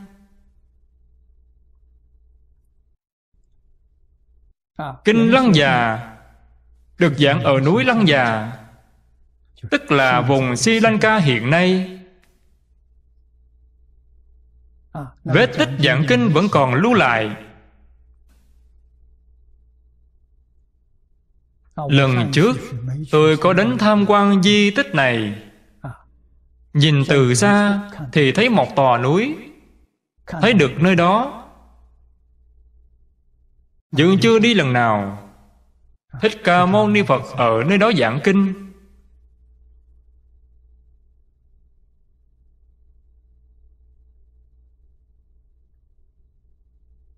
Lăng già, Hai tông tánh tướng. Còn giáo nghĩa, Tương đối chỉ nói lướt qua. Đặc biệt giảng đến Tự tâm hiện lượng, Bất đoạn chi vô, Nói thật là hay. Toàn thể vũ trụ rốt cuộc là gì? Các ngài đã nhìn rõ cả rồi. Hai câu này chính là Thông thường Kinh Đại Thừa hay nói Là thật tướng các Pháp. Tướng thật sự của hết thảy Pháp là gì? Là tự tâm hiện lượng đây chính là chủ sáng tạo. Nó tạo ra cái gì vậy? Chính là điều mà Huệ Năng Đại Sư có nói. Nào ngờ tự tánh năng sanh vạn Pháp Tự tâm hiện lượng, Chính là tự tánh năng sanh vạn Pháp. Vạn Pháp là tự tánh sở sanh. Năng sanh là tự tánh của chính mình, Tức là chân tâm của ta vậy. Hiện nay, Toàn bộ những hiện tượng này là gì? Là bất đoạn chi vô. Bất đoạn nghĩa là cứ một niệm tiếp nối một niệm. Nó không bao giờ ngừng lại. Nhưng mỗi một ý niệm Đều là giả. Đều chẳng thể nắm bắt được, Cho nên gọi là vô. Vô không phải ý nói là không có gì. Vô ý muốn nói là chẳng thể nắm bắt được. Tướng thì có, Nhưng tướng bất khả đắc. Đây là chân tướng sự thật. Vì sao lại bất khả đắc?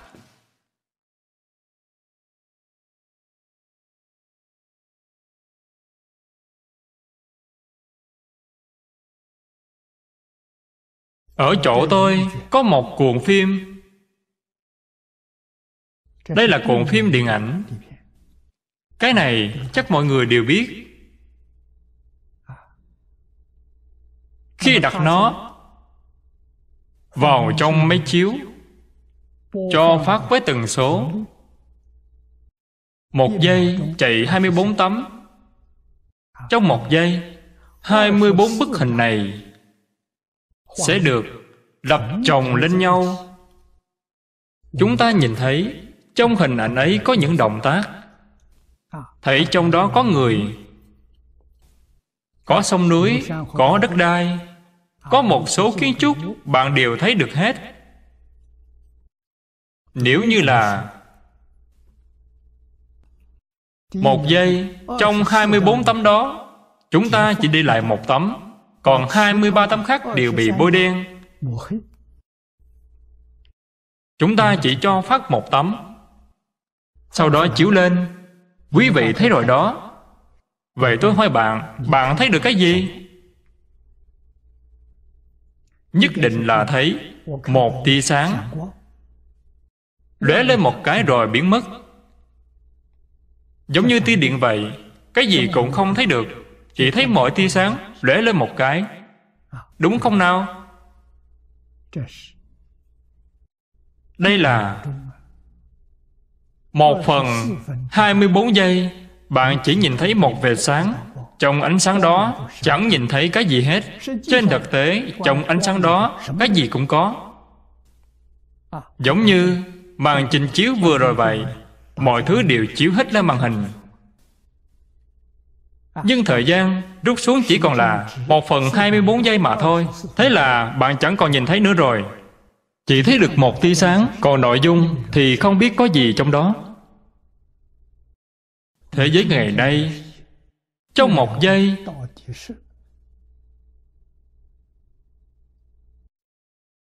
Rốt cuộc đang sanh diệt bao nhiêu lần vậy?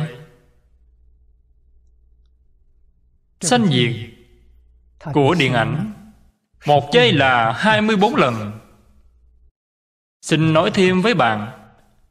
Đó là Truyền hình vào thuở trước.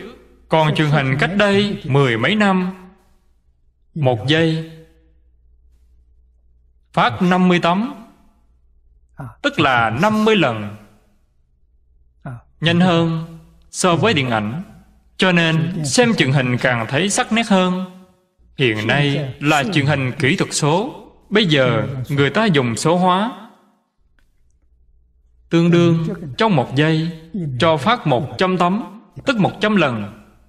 Bởi thế bạn không cách gì thấy được. Đó là chân tướng sự thật. Trong Kinh Đại Thừa, Bồ Tát Chi Lặc nói với chúng ta, Trong một cái búng tay, có bao nhiêu lần vậy? Là 32 ức trăm ngàn niệm. Một trăm ngàn là 10 vạn. 10 vạn nhân với 320 triệu. Tức là 320.000 tỷ. Trong một cái búng tay, Một giây có thể búng được bao nhiêu lần vậy? Người sức khỏe tốt Thể lực cường tráng, Họ có thể búng được 7 lần.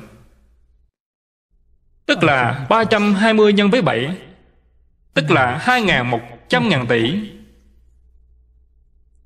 Một giây có 2.100.000 tỷ lần sanh diệt. Chính ở ngay trước mắt chúng ta, Bạn làm sao có thể biết được? Niệm niệm Điều bất khả đắc.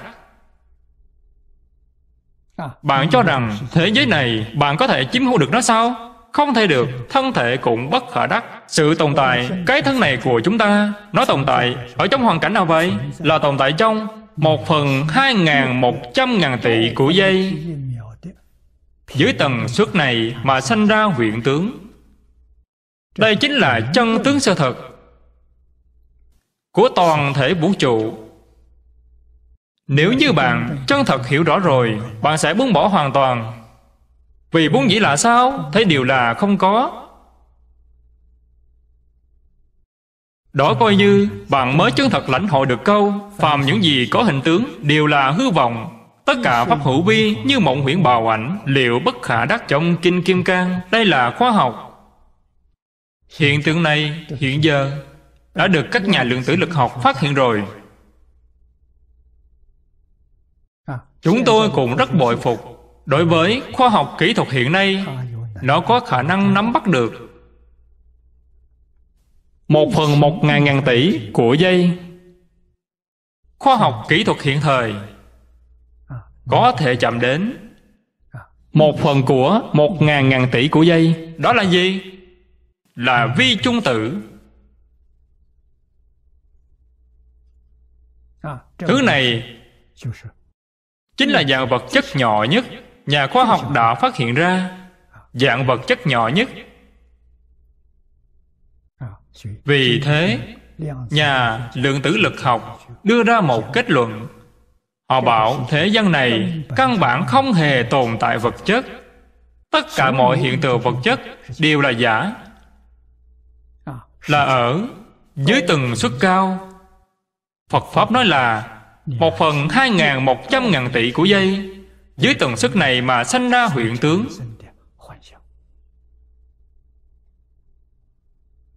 Cái huyện tướng này, từ đó mà có. Từ ý niệm mà có. Vậy ý niệm có từ đâu? Đây là vấn đề của khoa học hiện tượng vật chất giờ đã được làm rõ ràng, sáng tỏ rồi. Bí mật của vũ trụ, bí mật này cũng được vạch trần rồi. Bí mật thứ hai hiện giờ là ý niệm. Rất nhiều nhà khoa học trẻ tuổi đều đang nghiên cứu về ý niệm với niệm lực. Năng lượng của niệm lực là không thể nghĩ bàn. Đây là sự thật. Niệm cái gì thì thành cái đó. Cái này hải hiền lão hòa thượng ngay chỗ này cũng nói.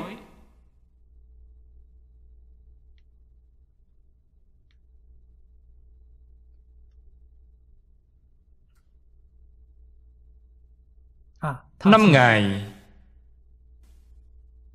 12 tuổi. Ngài có chồng bí đau.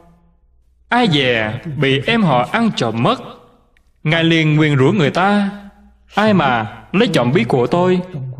Cầu cho người đó bị bệnh. Cầu người đó bị đau đớn. Quả nhiên, em họ của Ngài Sanh bệnh thật, bị lợ loét, Đau bệnh. Quả nhiên đúng như vậy. Dì của Ngài bèn tìm đến Ngài, Con đừng chùa rủa em nó nữa, Con còn chù nó nữa, Em con nó khổ sở lắm rồi. Ngài cũng hết hồn, hết vía. Lập tức chuyển đổi ý niệm. Hãy để đề đệ nhanh chóng khỏe lại. Hãy để đề đệ nhanh chóng khỏe lại. Ngài niệm hết hai ngày Cuối cùng em họ Ngài khỏe lại thật. Lúc đó Ngài mới biết từ đó về sau Ngài không còn dám chù rủa người nữa Cũng không dám niệm bất kỳ ai. Nó thật sự trở thành sự thật. Năm Ngài 18 tuổi Ngài bị lở loét. Trên người Ngài có một vết lở. Cái mục đó Đang lở loét và mưng mủ Mẹ Ngài Tìm thầy tìm thuốc cho Ngài. Nhưng chẳng làm sao Chữa lành cho Ngài được. Lúc đó, bản thân Ngài biết rằng Đây là do nhân quả báo ứng. Ngài bảo, Đây là bệnh nghiệp chướng, Là bệnh oan nghiệt. Thuốc thang gì cũng không khỏi được. Ngài nói Bồ Tát Quan Thế Âm, Cứu khổ, cứu nạn, Đại từ, đại bi. Ngài bèn một lòng niệm Quan Âm Bồ Tát Niệm được hơn một tháng, Một kia tự nhiên khỏi. Nhờ đó, Ngài đối với những lời Phật nói, Trong Phật Pháp tin sâu không nghi. Bồ Tát quả thật từ bi. Còn chúng ta niệm, vì sao không linh? Còn Ngài thì linh, Vì Ngài chuyên tâm, Một lòng chuyên niệm liền linh hiển. Còn chúng ta lập tạp tâm, Loạn tâm Lắm vọng tượng Lắm tạp niệm. Cho nên, niệm không linh, Không thể khởi tác dụng. Nếu như là một lòng chuyên niệm Thế thì, niệm niệm.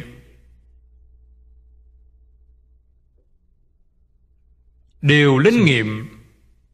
Tôi học Phật là do tiên sinh Phương Đông Bị nói với tôi, Phật Pháp là triết học định cao trên thế giới. Nhà lượng tử lực học hiện nay cũng nói, Phật Pháp là triết học cao nhất trên toàn thế giới. Vì thế, khi tôi giảng kinh, Tôi tổng kết cái mà Phật Pháp nói đến là gì? Nó nói về năm khoa mục. Đây là do Phật thuyết, Lão nhân gia Ngài dạy học 49 năm, Từ lúc bắt đầu là đã bắt đầu dạy học, Mãi cho đến khi viên tịch. Dạy trong vẹn suốt 49 năm. 30 tuổi khai ngộ Thích Ca Mâu Ni Phật 79 tuổi thì viên tịch. Trung Quốc chúng ta tính tuổi ta là thành 80 tuổi. Dạy học 49 năm. Ngài là một thầy giáo. Người hiện nay xem thân phận Phật Tích Ca Là một nhà giáo dục xã hội đa nguyên văn hóa. Bản thân Ngài là có thân phận gì? Là một người làm công tác nghĩa vụ Của một nhà giáo dục xã hội đa nguyên văn hóa. Bởi vì Ngài dạy học không thu học phí. Không có bất kỳ hạn chế nào. Không phân quốc tịch, Không phân dân tộc, Không phân tín ngưỡng tôn giáo.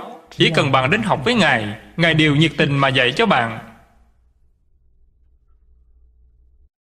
Chúng ta phải tìm ra diện mạo chân thật của Đức Phật. Ngài là giáo dục Là giáo dục Phật Đà. Khi tôi vừa xuất gia Xuất gia ở Đài Loan Tôi có kiến nghị với Hội Phật giáo Trung Quốc Về việc đính chính là tên gọi.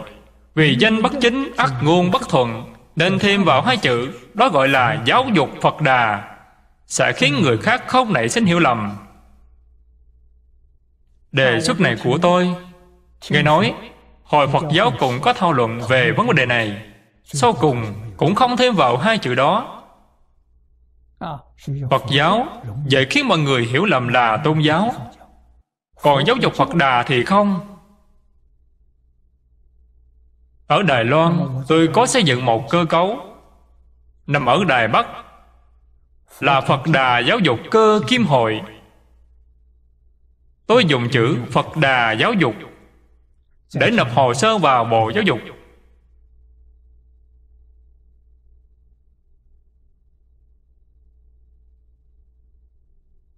Thực sự phải đổi tính lại. Tôi sống ở Hồng Kông. Ở Hồng Kông cũng thành lập. Một hiệp hội giáo dục Phật Đà, Gọi là Hiệp hội giáo dục Phật Đà Hồng Kông. Tôi nhất định phải thêm hai chữ này vào.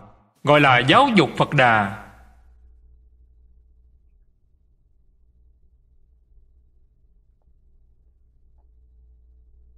Vì sao chúng tôi còn mặc bộ đồ này? Vì chiếc áo này là lễ phục của Phật giáo. Là lễ phục của giáo dục Phật Đà. Chúng tôi vì để kỷ niệm Thích Ca Mâu Ni Phật Mang trên người chiếc y này Đề nghị đến Giống như Đức Phật còn tại thế vậy. Chúng ta phải tuân thủ lời giáo huấn của Ngài. Ngài dạy cái gì? Dạy luân lý Dạy đạo đức dạy nhân quả. Ba thứ này là giáo dục phổ thế của Đức Phật. Giúp cho xã hội có thể an định hài hòa Hóa giải xung đột Bệnh viện không có chiến tranh Mại hướng lên cao Đồng nghĩa Khoa học và triết học Đều đạt đến đỉnh cao.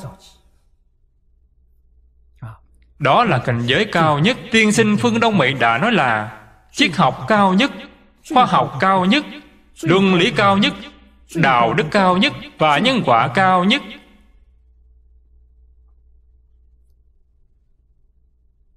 Chúng tôi từ chỗ này mà nhận thức Phật giáo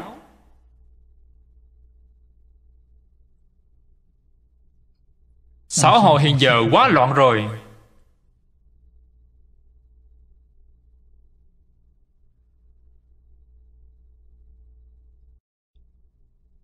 Thế kỷ 20 đã được tiến sĩ Thang Ân Tỷ nhìn ra từ những năm thập niên 70. Ưu tư trùng trùng. Vị này hết sức thiện lương Lại vô cùng từ bi Ông nói với chúng ta. Giải quyết vấn đề xã hội của thế kỷ 21 Tức là hiện nay. Chỉ có học thuyết khổng mạnh của Trung Quốc Cùng với Phật Pháp Đại Thừa. Đây là do ông nói. Học thuyết khổng mạnh ở Trung Quốc, Phật Pháp Đại Thừa cũng ở Trung Quốc.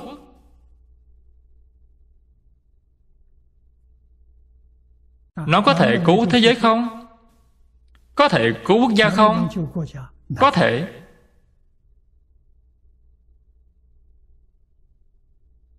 Những nỗ lực mà chúng ta bỏ ra những năm qua không hề uổng phí Đặc biệt là thật nghiệm của tiểu chấn thang trì. Tuy chưa đủ viên mãn Nhưng sức ảnh hưởng của nó Trong nước và ngoài nước hiện thời. Mọi người đã bắt đầu xem trọng Truyền thống văn hóa Trung Quốc rồi, Cũng tức là xem trọng đối với Nho Thích Đạo Đệ tử quy của nhà Nho. Cảm ứng thiên của đạo giáo Và thập thiện nghiệp đạo của Phật giáo Tôi dùng ba cái này làm nền tảng. Bắt đầu hạ thủ từ đâu? Là từ ba thứ này mà hạ thủ. Ba cái gốc nho thích đạo Đây là giáo trình. Để cấm gốc Nhất định phải bắt đầu từ đây. Mọi người làm ra được thành tích rồi. Trong nước vào những năm qua, có rất nhiều diễn đàn, đều đang bàn về truyền thống văn hóa ở nước ngoài. Như indonesia, tháng sau họ sẽ xúc tiến. Giáo trình đệ tử quy đối với học sinh tiểu và trung học trên khắp cả nước. Nguyên văn của đệ tử quy Sẽ là bộ giảng giải đệ tử quy Của Thầy Thái Lệ Húc. Phần giảng nghĩa này Gồm 40 giờ, Thầy điều cho phiên dịch thành tiếng Indo Hiệu trưởng, trường đại học Hồi giáo. Ở Indo nói với tôi, Họ muốn xây dựng Một thư viện tử khố. Trường cũng muốn mở một hệ Chuyên ngành Hán học. Đây là việc tôi không hề nghĩ đến. Indo trên thế giới Là quốc gia Hồi giáo lớn nhất. Dân số của họ khoảng 240 triệu dân. Họ mà dẫn đầu trong chuyện này Sẽ gây được ảnh hưởng rất lớn trên thế giới. Quốc gia Sri Lanka. Tôi cũng qua lại với họ. Rất tốt. Trước kia, Khi Tổng thống qua hít còn sống, Tôi trước sau Ít nhất đã gặp nhau Khoảng 20 lần.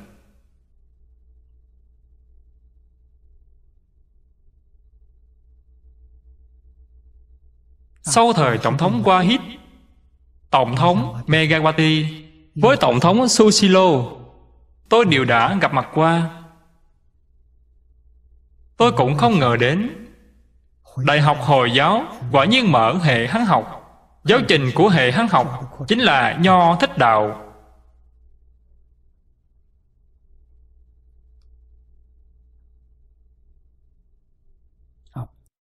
Trong vòng nửa năm bạn bè ở bên đó. Đã đến thăm tôi năm lần. Cho nên tháng sau, Tôi sẽ đến Thăm họ. Tôi sẽ ở Indo 10 ngày Và ở Singapore 3 ngày, Rồi đến Malaysia ở khoảng một tuần.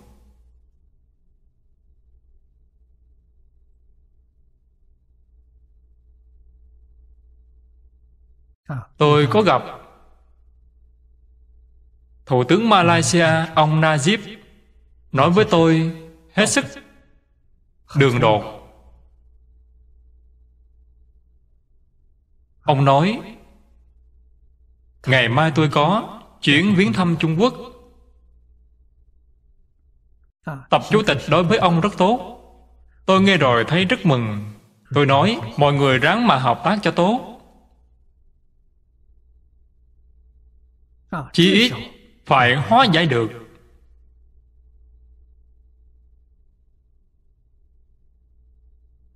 Xung đột ở châu á. Châu á hài hòa. có thể đẩy mạnh việc hài hòa trên toàn thế giới. Người trung quốc trước kia nói là mặt trận thống nhất. Chúng ta đừng để xảy ra chiến tranh. Chiến tranh đáng sợ lắm. Chúng ta phải thống hợp cùng nhau hợp tác chúng ta phải thống nhất phải hợp tác thì mới mong toàn thế giới thống nhất được. Ai có thể thống nhất vậy? Thang ân tỵ có nói người trung quốc. Có thể hợp nhất người trung quốc hiện nay tập chủ tịch có thể làm được ở vào thời của ông. Có thể mang lại sự hợp nhất cho toàn thế giới.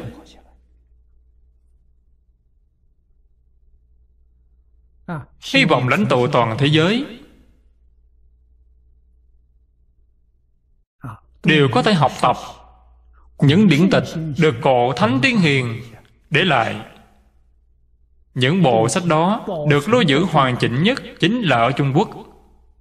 Cho nên tôi khuyên mọi người phải học chữ hán, học văn ngôn văn. Tứ khố toàn thư là báu vật mà tổ tiên loài người truyền lại.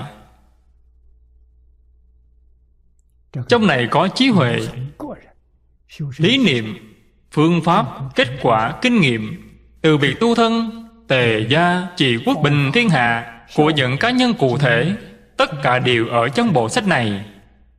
Đường thái tông đã rút tỉa tinh hoa của tinh hoa từ trong đó mà soạn thành một bộ quần thư trị yếu. Bộ sách này hiện thời tôi nghe nói tập chủ tịch đã đưa bộ này thành giáo trình bắt buộc khi gia nhập đảng. Tốt. Có thể cứu trung quốc mà còn có thể cứu được thế giới. Mong rằng tập chủ tịch có thể thống hợp toàn thế giới, những nhà lãnh đạo đất nước yêu hòa bình. Hãy đồng tâm hiệp lực, hóa giải mọi xung đột cho thế gian này mang lại cho xã hội này một nền an định hài hòa dài lâu khiến cho người dân trên toàn thế giới đều có thể có được một cuộc sống hạnh phúc mỹ mãn. Đây là lý tưởng của đảng cộng sản. Tôi tin tập chủ tịch có thể thực hiện được điều này trong nhiệm kỳ của ông